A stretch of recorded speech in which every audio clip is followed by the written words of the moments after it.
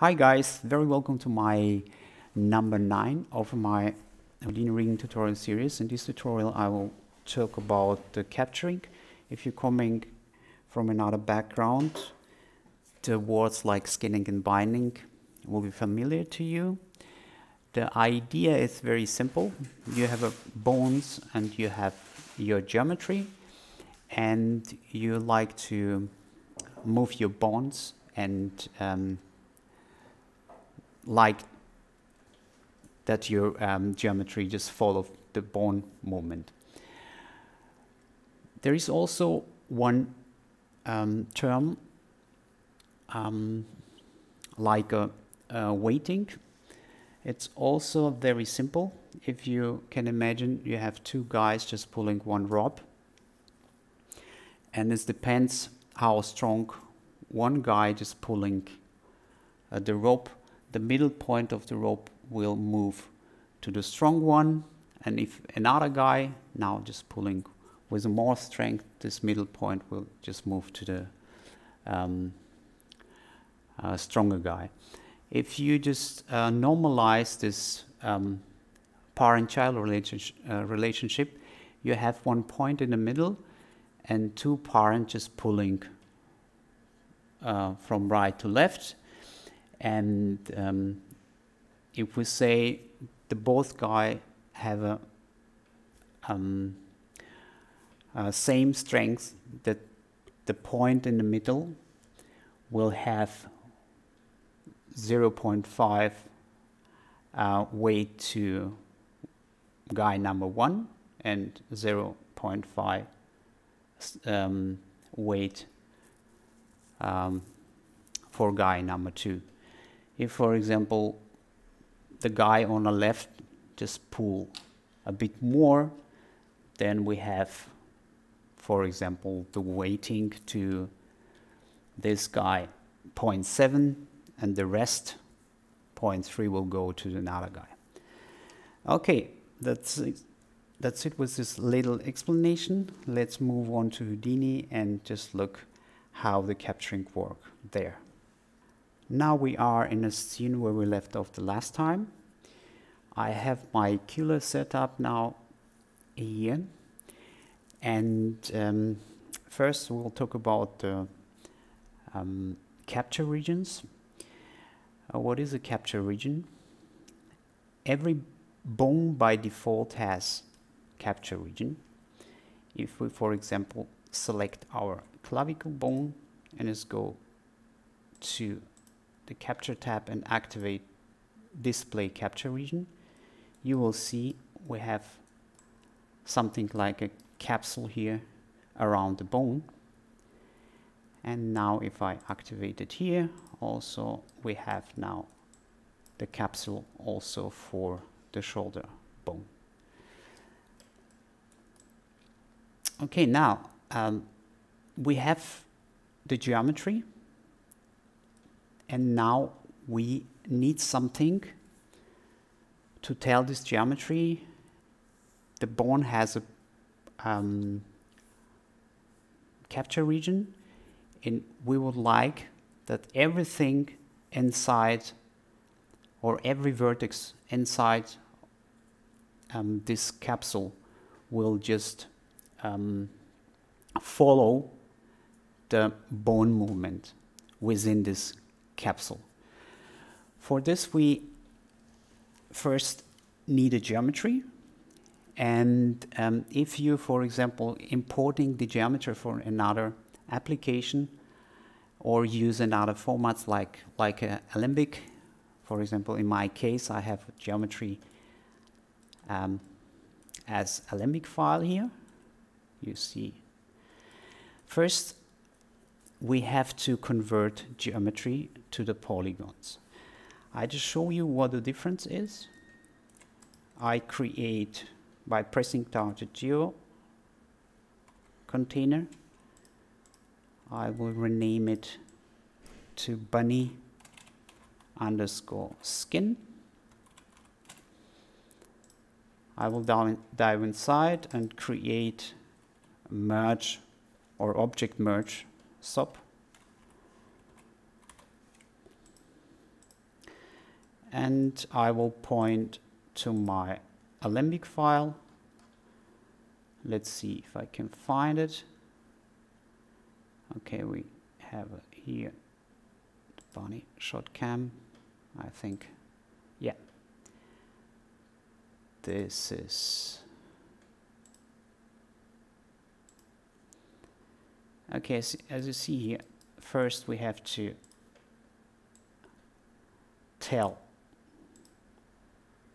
the object merge to get the proper scaling here. I will just disable this one.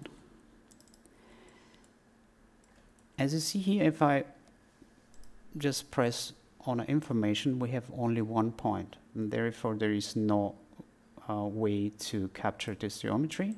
First thing to do is convert this geometry to polygons. We press tab and just say convert. And by default, we're converting to polygons. And as you see here, we have now 16,641 point. And now we need the capture SOP to be able to capture capture regions from from bones. And we will take this bone capture. I connect it to the first geometry input here and as you see here we have first the capture regions there is two ways to um, apply joins to this uh, capture SOP. First one is using the hierarchy. You just can grab the um, the parent of everything. In my case, it will be the spine root or the spine bone. And the second um, method that I will use now is just to specify every bone here. But it's very tedious to do and therefore we will use Python for that. We will write a little tool and don't worry if you're not familiar with Python, just type it per, um, just like um, one by one, or use the hierarchy method. First, I show you how the hierarchy method uh, works, and then we will write the Python script. Okay, I just go here and just grab my top um, uh, null or uh, top joint in the hierarchy and press accept. And as you see here, we've got now um, uh, capsules everywhere. And now we can also change the um, point color to color by capture.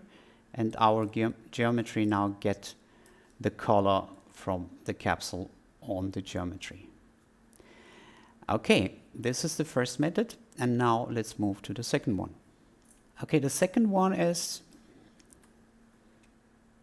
we have to grab the bonds one by one. You see here we can just take maybe the left um, left shoulder bone here and just say accept pattern and you see we will get them one by one but I like to um, make a little automatization and let's uh, write our code. I will show you in node editor what I wrote already and I go line by line and explain what I did there. Uh, this is our function. We specified a capture node using a home module. after I write empty string and then I go through all selected joins and just add the join path to this empty uh, string. And after I'm setting the parameter of my capture SOP, as you see, we have the name of this parameter here.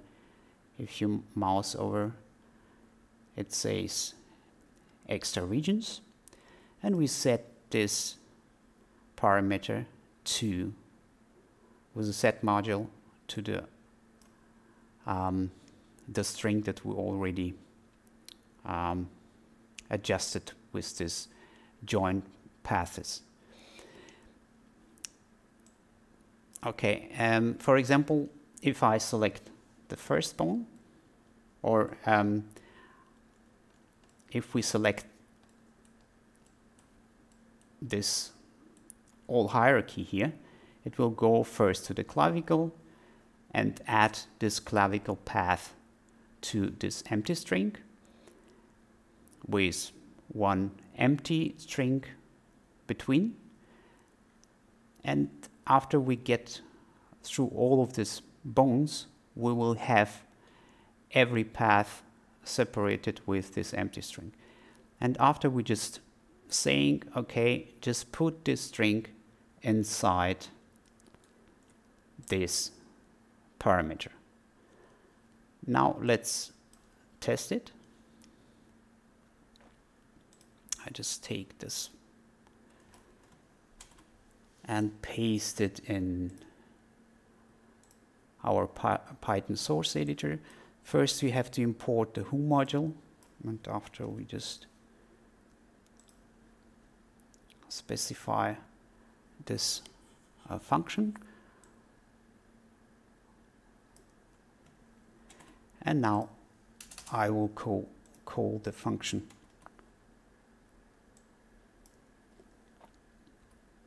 with the default uh, parameter here. And for that we have to select our bones. And execute. And as you see here, this script is put this uh, passes of the joints inside extra region parameter. Okay.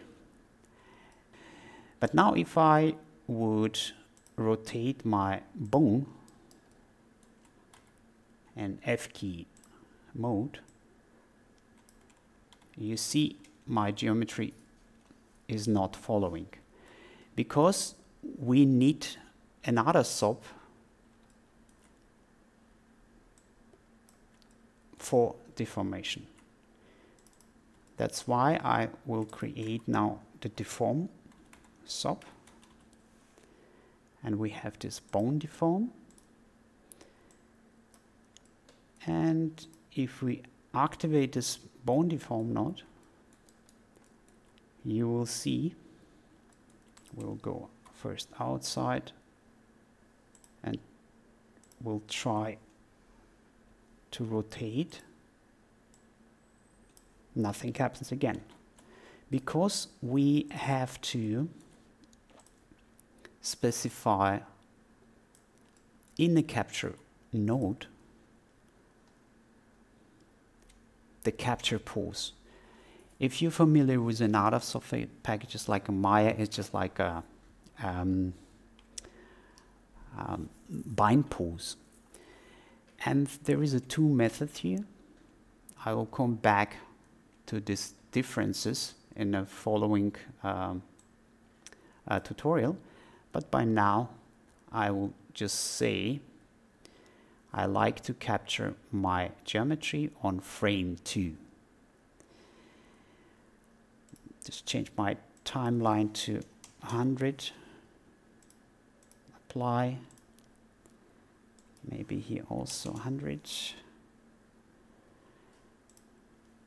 and I would say here capture my geometry on frame 2 and now if we we will go outside of container and grab um, our control object and rotate it. You see our geometry is following okay that's it for this tutorial. If you like this tutorial please leave a comment. Don't forget to subscribe and I will see you next Monday with a new one. Bye